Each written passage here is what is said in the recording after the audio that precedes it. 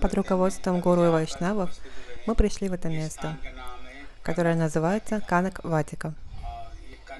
Канак Гхати. Здесь находится Радха Мадхава, Севика Виграха, то есть божества, которому поклонялся Джайдева Госвами. Кави Пай Джайдев Госвами поклонялся им. Он написал чудесное произведение Гита Говинду. Махапрабху, когда был в Чаганатхапуре, наслаждался этим произведением Гита Говинды. В Мангалачаране говорится «Швита Камала Кучамандалахе». Цитата из Гита Говинда.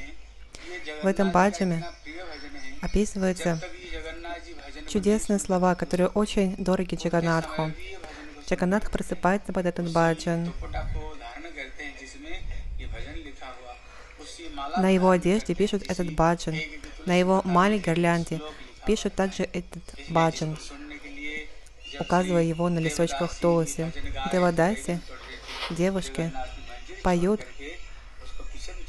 Однажды Девадаси пела этот баджан за пределами храма Чаганатхи, и он был так привлечен, что оставил свой храм и бросился на звуки этого баджана. Из-за этого одежда повредилась.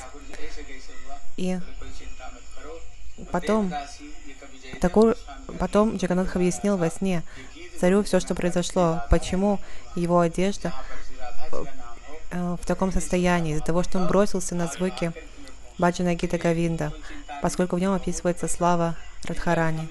И царь был очень доволен. Именно в этом месте, где мы сейчас находимся, находимся божество, находятся божества, которым поклонялся Джайдев Госвами. Мы получим дачинах и благо от этого.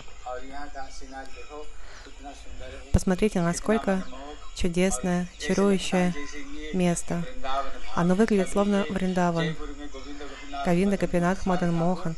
Все божества прибыли сюда, в Джаяпур, потому что здесь чудесная атмосфера. Посмотрите, холмы покрыты зеленью.